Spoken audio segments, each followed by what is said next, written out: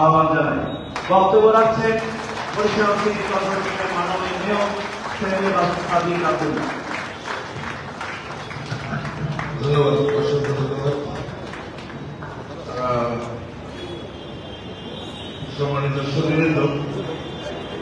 আজকের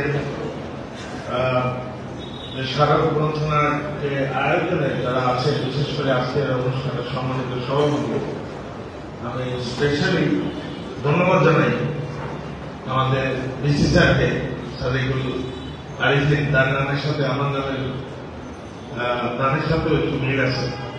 যে এই আহ, আহ, সা-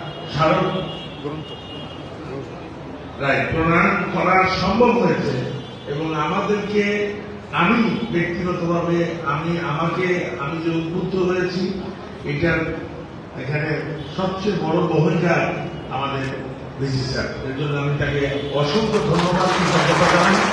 ভবিষ্যৎবাসীর পক্ষ তাকে ধন্যবাদ জানাই। উপস্থিত, যারা লেখক এখানে উপস্থিত আছেন, আমার দুজন সহ সামাজিক সহ, আমার স্যার আছে রাকিব স্যার সহ, আমার একটু আমার দাদার সমতুল্য চাচা, আমাদের আরেকজন, আমার বীর বিক্রম, আমাদের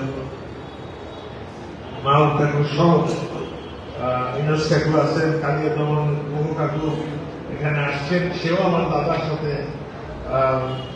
রাজনীতি করানো আমার সভাপতি আছেন, আমাদের ইউনিভার্সিটির আর একজন রেজিস্ট্রার স্যার আছেন, আমাদের শিক্ষক সমিতি ইউনিভার্সিটির সভাপতি আছেন, সহ আমাদের সদস্য সচিব আমার আকাশ ঠাকুর যে এই, এটি বাইর করার জন্য আজকে দেড় বছর, দুই বছর যারা শুধু আকাশ ঠাকুর আছে, মিজান আছে, আমাদের সুশান্ত দাস সহ, আমি নাম বলতে গেলে এখন অনেকের নাম বলতে হবে। এখানে আমাদের বিভিন্ন কলেজের প্রিন্সিপাল স্যাররা আছেন, যারা এটার সাথে সম্পৃক্ত, বিভিন্ন স্কুলের শিক্ষকরা আছেন এটার সাথে অনেকেই সম্পৃক্ত আছেন। এখানে আমাদের হোসেন নামা আছেন এবং সবাইকে আমি আমার বাউন্ন বছর পরে হলেও যে আমরা এটা স্টার্ট করতে পারছি।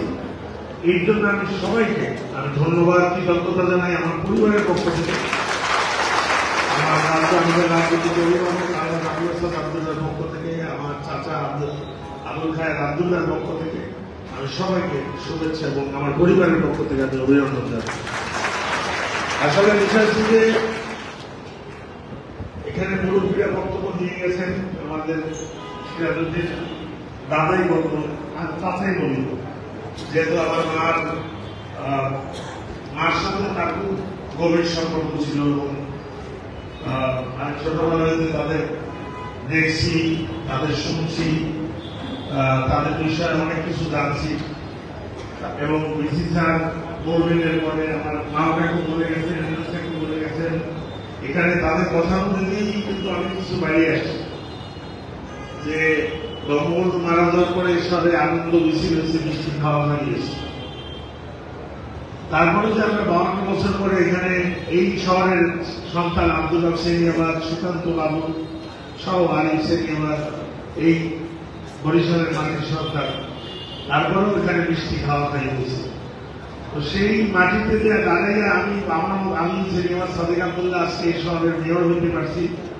এই শহরে আজকে দশ বছর, বারো বছর রাজনীতি করে যে যে জায়গায় আমি আসতে পারছি, আমার নিজের পরিচয়কে, আমার পরিবারের পরিচয়কে সমৃদ্ধ করতে পারছি, আমি এর জন্য নিজেকে আমি ধন্য মনে করতেছি যে অ্যাটলিস্ট এই জায়গায় আমি।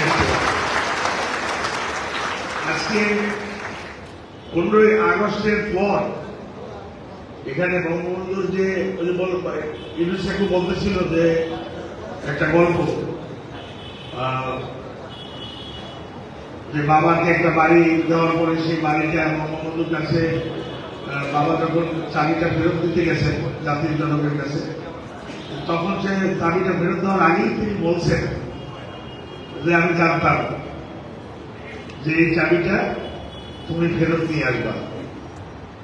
এটা হচ্ছে কি? এটা হচ্ছে দিয়ে বঙ্গবন্ধুর সাথে আব্দুল হক আমাদের যে উপলব্ধিটা, আপনারা চিন্তা করে দেখেন যে তাদের কানেকশনটা বা তাদের একজনের মানে সাথে আরেকজনের যে কানেকশন রাজনৈতিক বা ব্যক্তিগত, যে সে আগে থেকেই সে জানতো, সে রিয়েলাইজ করছে বা একজন একজনের যে বিষয়, বিষয়টা। তো তার সাথে সে জীবন দিয়ে গেছে, তার জীবন দিয়ে গেছে। আব্দুল হকসেন আমাদের জীবনের সাথে এখানে সবার কথায় বা বইয়ের মধ্যে যা লেখা একজন নিরীহ মানুষ তার জানেন আমার কি প্রয়োজন ছিল তার গান শুধু না তার নাতি চার বছরের আমার ভাই সুকান্ত বাবুর জীবনে কিন্তু দেওয়া লাগছে এইটার পিছনে একটা বিশাল বড় স্বাধীনতার সাথে এটার একটা সুতা কিন্তু আমাদের পরিবারের সাথে একটা চিকন একটা সুতা এখানে গাঁথা যেটা যে বললাম যে আমাদের বরিশালে কিন্তু যুদ্ধ হয় না এক সময় ওই যে কালকে মাহফেকু বলতেছিল যে বরিশালে বলে তো যে বরিশাল পাকিস্তান। তো সেই জায়গা থেকে আজকে আমরা কালচারাল আজকে বাউন্ন বছর পর হলেও আজকে গতকালকে আমি বলতেছিলাম যে আব্দুল হক সেকেবাদ পাঁচটা মন্ত্রণালয়ের মধ্যে ছিল। আবুল হাসান আবদুল্লাহ তিয়াত্তর সালে এই শহরে পৌরসভার প্রথম, স্বাধীনতার পরে প্রথম চেয়ারম্যান ছিলেন। কিন্তু আজকে পর্যন্ত একটা স্থাপনা আমি দেখি নাই যে তাদের হাত থেকে করা তার মানে কি? তার মানে পঁচাত্তরের পনেরোই আগস্টের পর যত স্থাপ অবশ্যই দেশ তখন নতুন হওয়ার পর তাদের হাত থেকে অনেক স্থাপনা হয়েছে এই শহরে।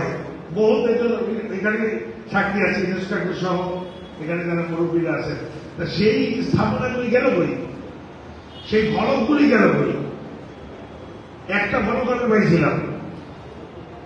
এই যে ডিসি অফিস নিয়ে যখন এই যে আপনারা কয়দিন আগে একটা ঘটনা ঘটছে, আপনাদের মনে আছে?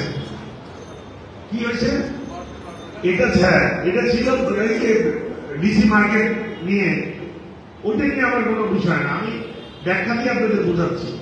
মার্কেট এখানে দোকানপাট ছিল এই বিপুল পুষ্করির পার যেটা আমি জানছি অনুধাবন করছি। সেই দোকানগুলি তখন দাদাকে নিয়ে বাবা নিয়ে ওই যে হকার্স মার্কেট নাম, আমার কাছে ফলকটা আপনাদের অনেককেই দেখেছি আমি এখানে মুরব্বীদের আছে সেই ফলকটা সামহাও যখন আশির পরে যখন বিএনপি সরকার ক্ষমতায়, তখন যে একজন ডিসি সাহেব ছিলেন, তিনি ওইটাকে তখন ওই নামগুলি কেন্দ্রে সরবে আব্দুল হাসেন আমাদের এটা আমি একটা উদাহরণ দিচ্ছি, আমার কাছে যেটা মনে হয়েছে, তখন এটাকে নাম করে দিল হাজি মোহাম্মদ মহসিন মার্কেট নামে ওইখানে একটা ফলক করা হলো। তারপর থেকে আমরা জানি ওটা হাজি মোহাম্মদ মহসিন যখন এটাকে ডিসি মার্কেট নামকরণের যে এটা নিয়ে একটা বিতর্ক হইল শহরে আপনারা সবাই জানেন। তখন কিন্তু ওই ফলকটা সামহাও আমার বাসায় আমি খুঁজে পাইছি এবং ভাগ্য চক্র ওইটা আমি পাইছি। পাওয়ার পরে দেখলাম যে ওখানে তো কোথাও লেখা নেই, হাজি মহসিন মার্কেট ওখানে লেখা, বরিশাল হকার্স মার্কেট এত সালে উদ্বোধন করছেন আব্দুল রাফসাই আমার তো নিশ্চয়ই ওইটা এবং সেইটাকে আপনি দেখেন, হাজি মোহাম্মদ করছেন, সেখান থেকে চলে গেছে ডিসি মার্কেট আজকে বদ্ধভূমি ছিল কোথায়? পঞ্চাশ বছর পরে আপনাদের এই বদ্ধভূমি, আমি ওখানে না গেলে হয়তো ওটা বিনোদন পারবি, এটা আমার কৃতিত্ব বিষয় বলতেছি না। এটা আমাদের সবার জানার বিষয় বলতেছি, এটা আপনাদের মাথায় থাকা উচিত এই জিনিসগুলি। সেখান থেকে গেল কোথায়? বটগাছের গোড়ায়। মিনার সেই গোড়া হয়ে গেল কোথায় কৃষি অফিসের সামনে? তার মানে কি? অরিজিনাল যে জায়গার অস্তিত্ব, অরিজিনাল যে আমাদের চেতনার জায়গা, এগুলি কিন্তু ঘুরে ঘুরে আপনাদের নষ্ট করে ভালাইছে বিগত দিনে ভালাইছে এগুলিও ভালাইতো যদি হয়তো বা আমরা এগুলিকে এই যে এখন যারা আমার সাথে এখানে সাংস্কৃতিক অঙ্গনের সুশীল সমাজ সহ নেতৃবৃন্দ, বীর মুক্তিযোদ্ধারা, যারা আমাকে সহযোগিতা করছে এই বদ্ধভূমি সংরক্ষণ করার জন্য, এই শহীদ মিনার সংরক্ষণ করার জন্য। তো বিষয়গুলি আপনাদের কাছে মনে পারে যে তোমার মাথায় আসে কেন? ওই যে আমি আব্দুল হক সেলিমাদের নাতি, আমার শরীরে আমার বাবা একজন মুক্তিযোদ্ধা, ওই যে বললাম, মুক্তিযুদ্ধের একটা সুতা আমার সাথে গাথা। তো এই শক্তি এখানে মনে করেন, আমার এটা আপনাদের বলার প্রয়োজন নেই, আপনাদের কথার মধ্যে দিয়ে পেয়ে গেছি। যে এই শহরে এই যে পরিবর্তন যে হয়েছে, এর জন্য আমি আর ওই কথায় আমি গেলাম না আজকে। একটা খুশির দিন। আজকে একটা জেনারেশন চেঞ্জ হয়ে গেছে, পরিবর্তন হয়ে গেছে। আজকে নতুন মুক্তিযুদ্ধের সপক্ষের চেতনা শক্তি, আজকে এই তরুণ প্রজন্ম যাদের নিয়ে আমি কাজ করি, এটা নিয়েও অনেক আপনারা জানেন যে প্রথম আমি কাজ করা শুরু করছি পরে সবাই বলতে খোলাবার খোলাবার লই খালি গেলে পরে ওখানে গেলে বসতে পারে না, মুরব্বীরা বসতে পারে না যুবকরা বসতে পারে না। আজকে আমি আপনাদের অনুষ্ঠান হয়, সেই অনুষ্ঠানে যখন আপনাদের এই নাগরিক সুদী নাগরিক যারা আছেন, তারা যখন আলোচনায় বসেন, আপনারা যখন বলেন, কোনো প্রোগ্রাম বড় প্রোগ্রাম শুরু করার জন্য, তখন যখন কথা হয় যে এই প্রোগ্রামটার আয়োজন করবে তারা বা সিকিউরিটি দেবে কারা? তখন যখন বলা হয় যে ছাত্রলীগ আওয়ামী লীগ, আপনাদের মুখ যখন বাইরে ও, তাহলে তার কোনো চিন্তাই নেই। এ প্রোগ্রাম তো থাকছে তেমনি এটাই আমাদের এটা আমার অর্থ, এটা আমার এটা আমার রাজনৈতিক এবং আমাদের যে পরিবর্তন, আপনাদের আপনাদের মানসিকতা বা আপনাদের যে ধারণা পরিবর্তন আমি ঘটাইতে পারছি, এর জন্য আমি নিজের আমি ধন্য মনে করি। আমি আমার নিজেকে, আমি এই পরিবারের সন্তান আব্দুল হোসেন আমাদের নাতি বললাম কি, আবুল হাসান আব্দুল্লাহ সন্তান আজকে যে এইটা করতে পারছি, এর জন্য আমি আমি হ্যাপি আমি অথবা দুদিন আমাকে আর নমিনেশন পাইনি, দুদিন পরে আমি জানেন আপনারা দায়িত্ব ছেড়ে দেবো বাট আমি যে আপনাদের মনের ভিতরে ঢুকতে পারছি, বরিশালের মানুষের সাথে যে তাদের মনের ভিতরে এই সম্পর্কটা তৈরি করতে পারছি, এর জন্য আমি। আমি মেয়র হয়েও এত আহত করিনি যে আমি বিদায় নেওয়ার সময় যে আনন্দের সাথে আমি আমি যতদূর আমি বুঝতেছি বা জানতেছি যে আনন্দের সাথে বরিশালবাসী আমাকে বিদায় করছে আমি আমি হ্যাপি তো বিষয় থেকে আব্দুল হোসেন আবার তো তাকে নিয়ে বলার মতো আমি কি বলব? আমি শুনছি আমার মার কাছ দিয়ে, আমার বাবার কাছ দিয়েও শুনছি খুব কম।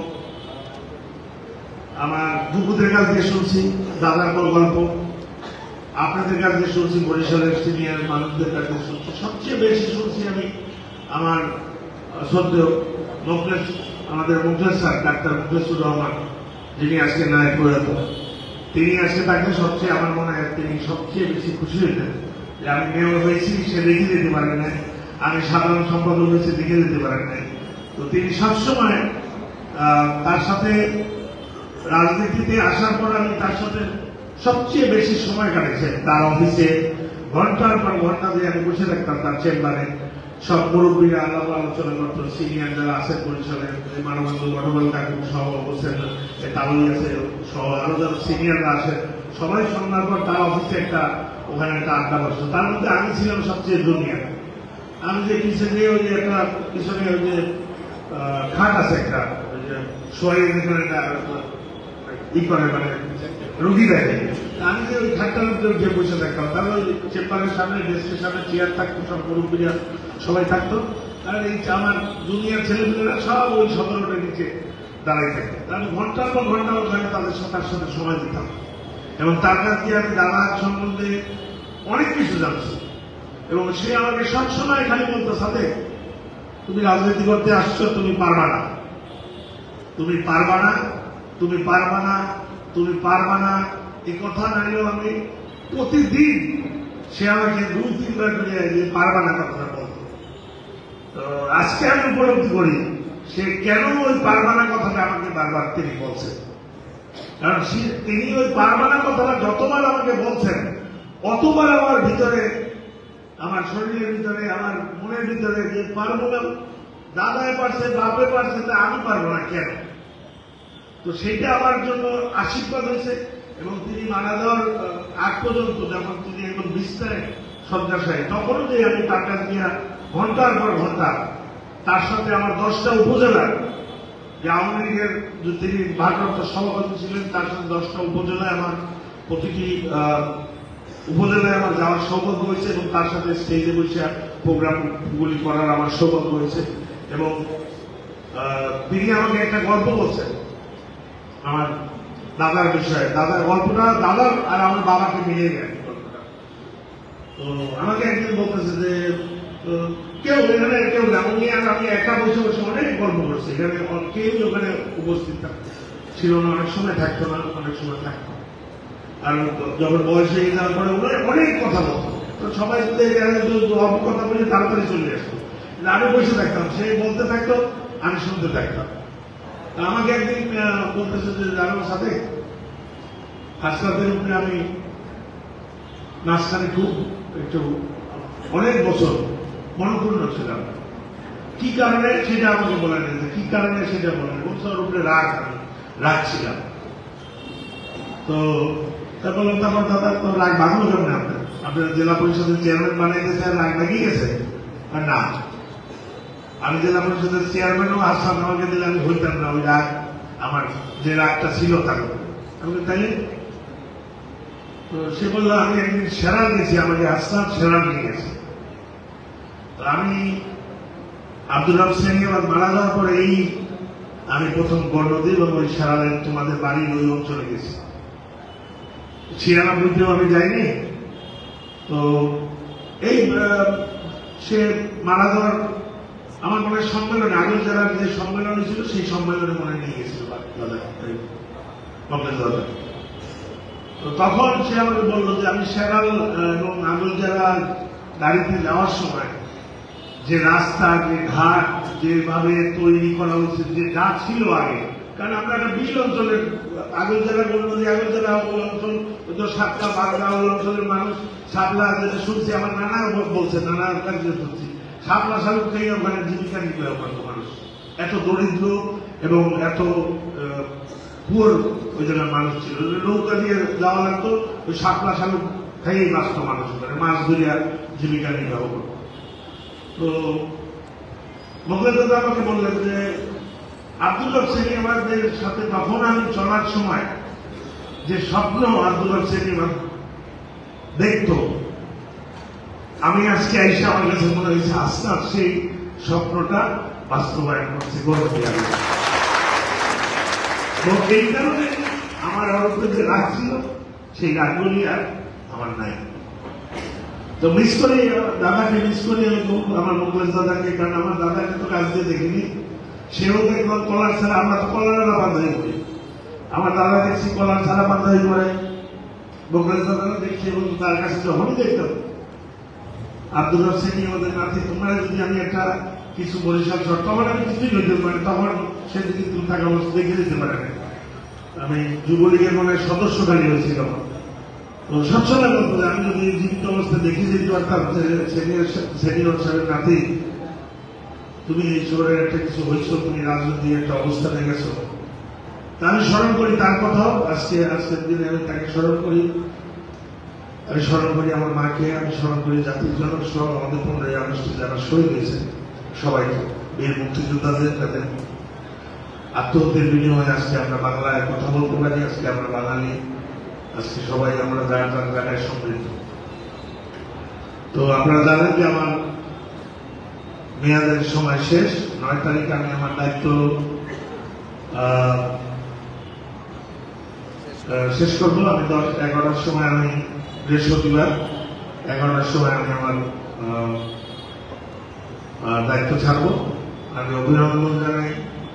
আপনাদের আজকে এখান থেকে আমার নতুন মেয়রকে, আমার চাচা সে চোদ্দ তারিখ দায়িত্ব গ্রহণ করবেন আমি তাকে অভিনন্দন জানাই। তাকে সব ধরনের, যে ধরনের সহযোগিতা প্রয়োজন, তার সব সহযোগিতা আমি তার বাসা থেকে করার চেষ্টা করি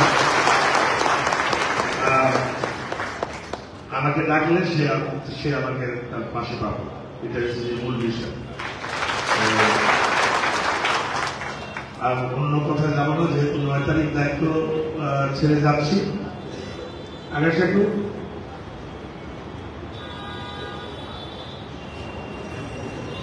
আকাশ ঠাকুরকে তো শিখে রইলাম আমার রবীন্দ্রনাথ ঠাকুরের ভাষায়, আজ থেকে আমার পরিচয় এই হোক, আমি তোমাদের এলো জয় বাংলা, জয় বাংলা